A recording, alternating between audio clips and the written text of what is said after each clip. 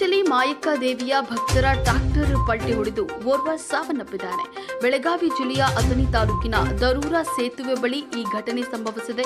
ದರೂರ ಸೇತುವೆಯ ತಿರುವು ರಸ್ತೆಯಲ್ಲಿ ಚಾಲಕನ ನಿಯಂತ್ರಣ ತಪ್ಪಿ ಟ್ರಾಕ್ಟರ್ ಪಲ್ಟಿ ಹೊಡೆದಿರುವಂತದ್ದು ಇನ್ನು ಘಟನೆಯಲ್ಲಿ ಅಥಣಿ ತಾಲೂಕಿನ ಕಕಮರಿ ಗ್ರಾಮದ ಇಪ್ಪತ್ತು ವರ್ಷದ ಅಕ್ಷತಾ ಕನಮಡಿ ಸಾವನ್ನಪ್ಪಿರುವ ದುರ್ದೈವಿಯಾಗಿದ್ದಾರೆ.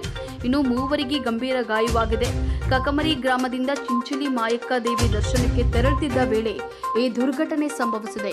ಎಪ್ಪತ್ತಕ್ಕೂ ಅಧಿಕ ಭಕ್ತರಿದ್ದ ಡಬಲ್ ಟ್ರಾಲಿ ಹೊಂದಿದ್ದ ಟ್ರಾಕ್ಟರ್ ಪಟ್ಟಿಯಾಗಿರುವಂತದ್ದು ಗಾಯಾಳುಗಳನ್ನ ಅಥಣಿ ತಾಲೂಕಾಸ್ಪತ್ರೆಗೆ ದಾಖಲು ಮಾಡಲಾಗಿದೆ.